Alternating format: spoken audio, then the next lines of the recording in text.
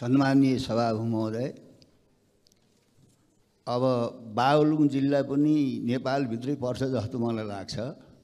त्यहाँको बजेट हेर्दाखेरि अत्यन्त सौतिलो व्यवहार गरियो। एउटा कुरा। दोस्रो कुरा प्रवासी नेपालीहरूले पठाएको रेमिटेन्सबाट हामी यहाँ लकेट लाएर हिँड्ने।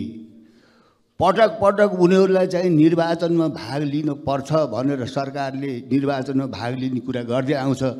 तर बजेट त अहिले पनि छुट्टिएन।